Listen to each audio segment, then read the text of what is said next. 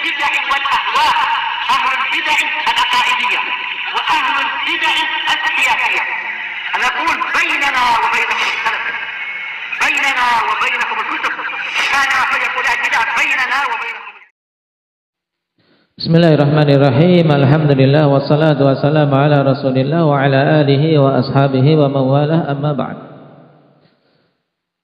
Untuk materi sedikit sebenarnya kawan yang murajaah yang panjang. Ya murajaahnya yang panjang. Karena apa? Kalian masih banyak yang belum mungkin. Jadi harus berusaha mungkin. Alamat-alamat i'rab. Tanpa mutkin alamat i'rab tidak bisa maju dalam ilmu nahwu. Illa ayyasha Allah. Niyabatul fathati anil kasrah sekarang. Qala al-musannif rahimahullahu taala wa amma al-fathatu fatakunu alamatan lil khafdi fil ismi alladhi la yansarif. Adapun fathah dia menjadi tanda bagi i'rab khafat pada isim yang tidak bisa menerima tanwin. Dan telah kita lewati di pembahasan kasrah sebagai tanda i'rab khafat. Di situ disebutkan berapa tempat? Disebutkan berapa tempat? Hamzah? Tiga apa saja? Kasrah sebagai tanda i'rab khafat pada berapa tempat? Tiga. Apa saja? Isim mufrad munsharif, jamak taksir, munsharif dan jamak mana salim. Nah, di situ yang diberi kata munsharif apa dan apa? Akmal. Isim mufrad dan jamak taksir. Baik, ingat-ingat itu. Nah, di sini juga sekarang berarti bentuk-bentuk nanti yang nah mukhafatnya kawan tandanya dengan fathah itu pada isim yang tidak bisa menerima tanwin baik dia berupa isim mufrad atau berupa jamak taksir ya adapun bentuk-bentuk yang lain tidak musanna tidak kemudian jamak muannas salim tidak nah yang masuk yang bisa apa? Bisa menjadi apa? Isim yang tidak bisa menerima tanwin dari jenis apa tadi? Dari jenis apa Akbar? Hah? Isim mufrad dan jamak taksir. Qala syarih I'lam rahimakallah anna lil fathati mawdi'an wahidan takunu fihi alamatan ala khafdil ismi. Ketahuilah semoga Allah merahmatimu bahwasanya fathah itu memiliki satu tempat saja yang dia menjadi tanda nah, atas khafatnya suatu isim. Wa huwa al-ismul ladzi la yang sarif yaitu isim yang tidak bisa menerima tanwin. Makna la yang sarif ay alladzi la yaqbalu tanwin walal kasrah. Yaitu isim yang tidak bisa menerima tanwin tidak pula menerima kasrah. Jadi ada dua kawan ada dua keunikan isim alladzi la yang sarif apa tadi tidak bisa ditanwin tidak bisa di diapakan samin Hah? Nah, makanya konsentrasi nggak nyambung kan? apa sakit? Di kasrah. Tidak bisa ditanwin, tidak bisa di kasrah. Contoh nahwu. Marartu bimasajida mubarakatin. Marartu bimasajida. Aku melewati masjid-masjid yang diberkahi. Nah, masjid-masjid tempat yang mubarak.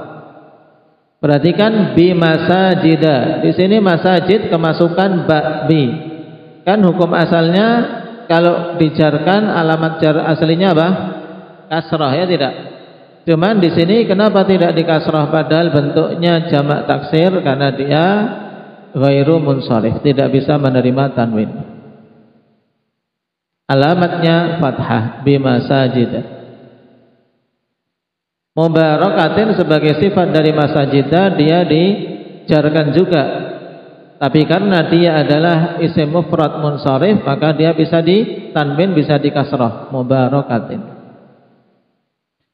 Contoh kedua salam tu ala Ahmada. Salam tu ala Ahmada. Perhatikan kata Ahmad. Ahmad ini jamak muannas salim atau jamak mudzakkar salim? Indah Muhammad Bengkulu.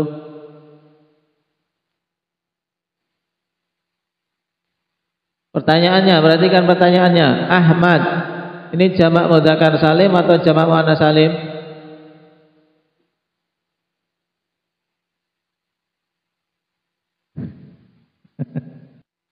Taib bukan dua-duanya, bukan bukan jamak mudzakkar salim, bukan jamak muannas salim. Kenapa? Karena dia isim mufrad. Tapi di sini perhatikan setelah ala kok dia di fathah ala Ahmada. Alamat Khafatnya dengan fathah karena apa? Dia masuk ismul ladzi la yang sharif. Dia tidak bisa menerima tanwin. Tidak ada Ahmadun. Ahmadin tidak ada. Alasannya kenapa? Insya Allah dijelaskan pada tempatnya. Kemudian contoh ketiga salam tu ala Umara. Ini juga sama Umara isim mufrad tapi Ghairu munsharif tidak bisa menerima tanwin. Aku menyampaikan salam pada Umar. Fakullun min masajida wa ahmada wa umara mahfudun. Masing-masing dari tiga kata ini itu semuanya dikhafatkan. Kenapa lidukhuli harfil khafdi alaih? Karena kemasukan huruf khafat padanya. Masajid kemasukan huruf khafat berupa apa? Jabir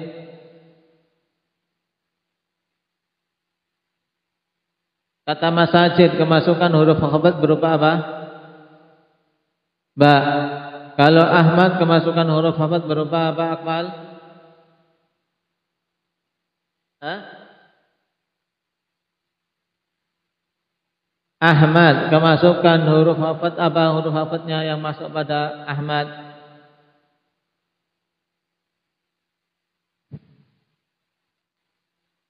Ikuti alur pertanyaannya. Perhatikan pada contoh salam tu ala Ahmad. Ahmad ini dia apa? Alamat khafatnya fathah. Ya kan? Karena kemasukan huruf jar. Huruf jarnya apa? Ala. Ya. Pahami pertanyaan lidukhuli harfil khafdi alaih wa alamatu khafdihi al-fathah niyabatan anil kasrah alamat khafadnya fathah sebagai pengganti dari kasrah kenapa? li'annahu ismun la yang sarif karena dia itu isim yang tidak bisa menerima tanwin baik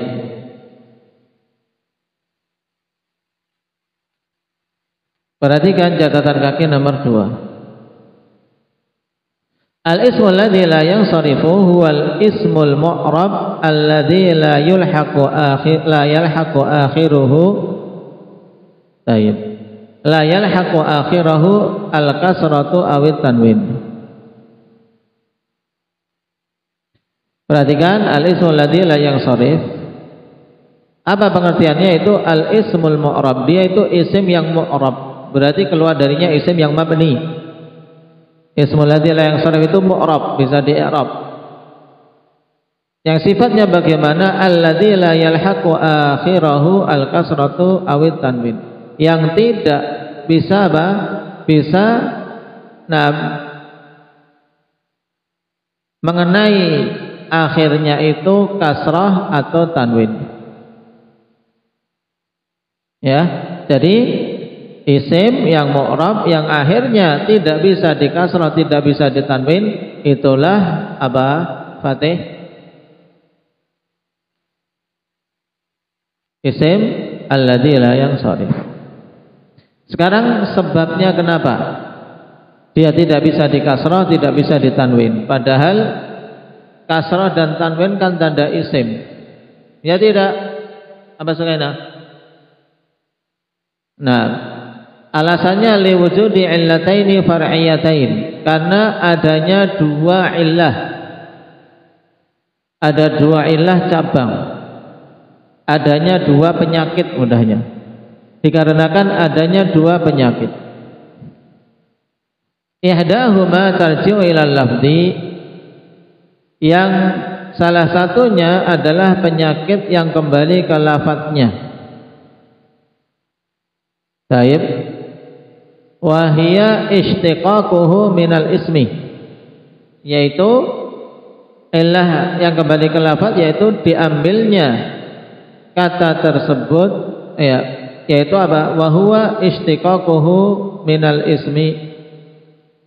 Yaitu pengambilan kata tersebut dari isimnya terkait masalah apa? Lafaz yaitu pengambilan isim tersebut. Lafaz isim tersebut bagaimana? Adapun penyakit yang kedua wal ukhra tarji'u ilal makna.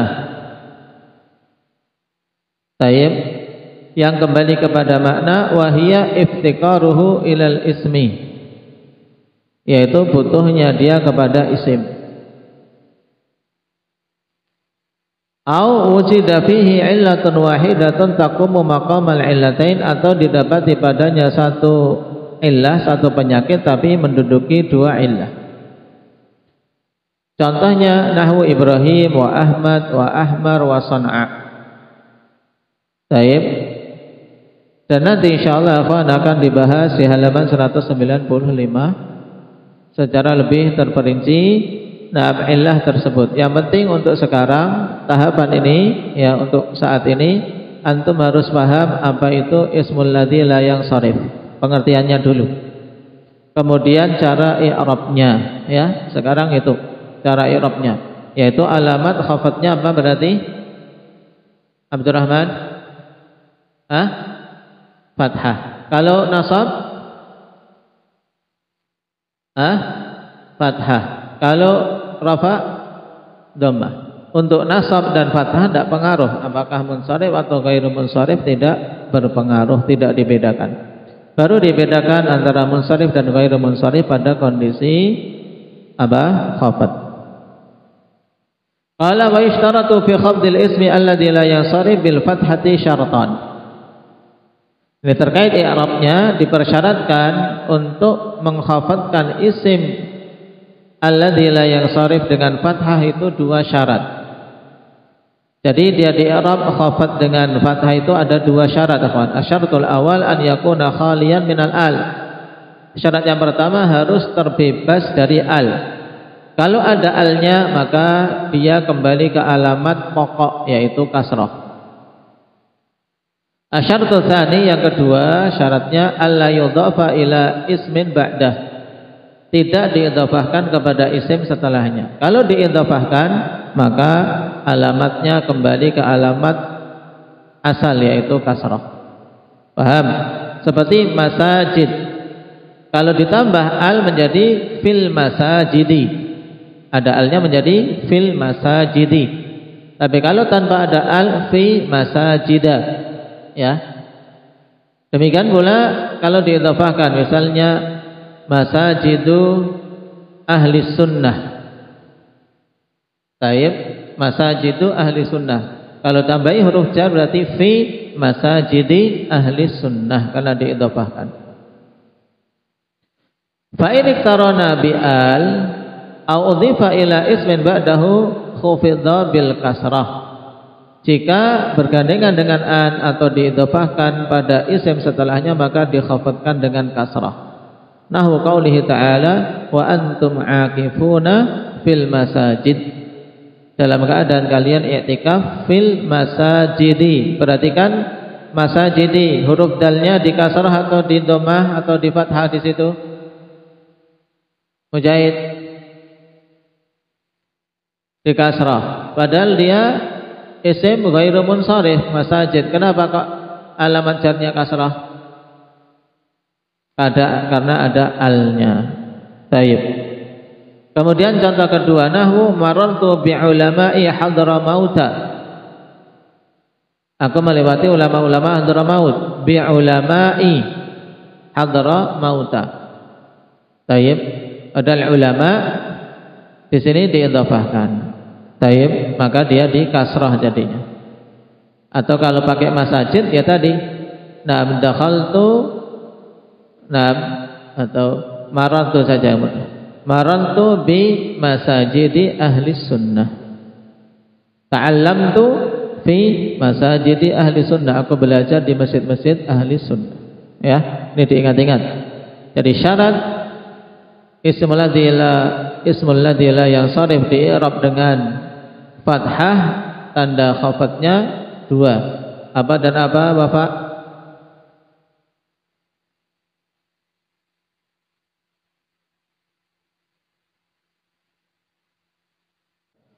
Nah itu syaratnya dua. Yang pertama terbebas dari al. Yang kedua tidak diidofahkan pada isim setelah Nah naktahi bihada Subhanakallah Wa